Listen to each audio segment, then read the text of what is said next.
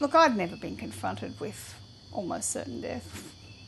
That's full of, you know, where life is so precarious and so uncertain. Hmm. I've obviously treated a lot of people and worked with people who do. I mean, I've got to be clear, I was a clinical doctor and then I became a research doctor. So I haven't hmm. been a clinical doctor for quite a while, hmm. but I was originally. Um, so I'm not one of these people with 8 million case studies of fascinating people. But I guess I found the experience of having a serious disease that I hope doesn't kill me, but it probably, well, certainly, there's a very high chance it will. Um, but there is some chance it won't. I get, I get hit by a, a milk trolley. um, I often think that, by the way, when I'm crossing the road. I think no one's going to thank me if I get hit by a car at this point.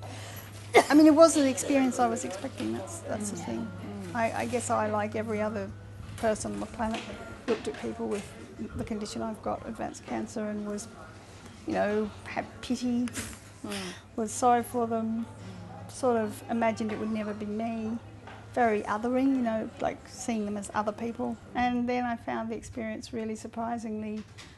Oh, when I say it was okay, it wasn't like I'm thrilled I've got it, I can tell you, but but at the same time, it just wasn't as anything like what I had in my mind. It was a completely different experience, mm. and I guess I wanted to to tell people about that because mm.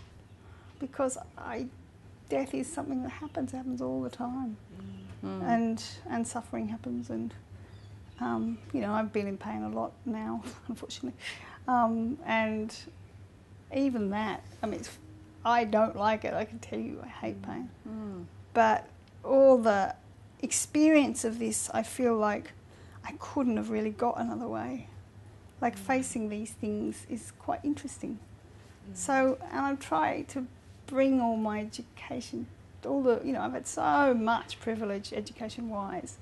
You know, I've done all these different degrees and I've got, lived all over the world and I don't know. I just feel like if I can bring my experience to help people see a different way of thinking about uh, serious illness. That could be useful. And I mean, you know, there's obviously a slightly pressing thing that if I am going to only, if, if I'm not going to live very long, for me personally, I want to leave something behind. You Yeah. know, I thought I'd have another 40 years to leave something behind. And I may, I may do, but I probably won't. Um, I'm saying that because I'm firmly keeping myself on the straight and narrow line that it is possible to get better because I believe it is. Whether I can pull that one off, I don't know.